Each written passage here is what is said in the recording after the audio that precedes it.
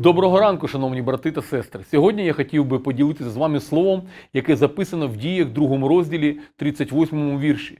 Петро сказав їм: Покайтеся, і нехай охреститься кожний з вас в ім'я Ісуса Христа на прощення ваших гріхів і приймете дар Святого Духа.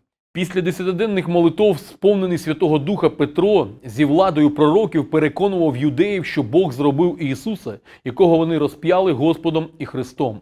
Після цих слів написано: почувши, вони розчулися серцем і сказали Петрові іншим апостолам: Що ж нам робити, мужі, брати? А Петро сказав їм: Покайтеся, і нехай охреститься кожний з вас в ім'я Ісуса Христа на прощення ваших гріхів, і прийміте дар Святого Духа. Отже, вони, прийнявши з любов'ю Його Слово, охрестилися і приєдналися до них того дня до три тисячі душ. Служіння в помазанні Святого Духа породжує спрагу до Бога, глибоке покаяння та прагнення служити Господу. Сьогоднішнє слово нагадує нам про потужну силу покаяння та дар Святого Духа, який ми отримуємо через віру в Ісуса Христа. Нехай наші серця завжди прагнуть до глибшого спілкування з Богом і служіння Йому, щоб, як і перші учні, ми могли стати свідками Його дії в нашому житті та в житті тих, хто нас оточує. Амінь.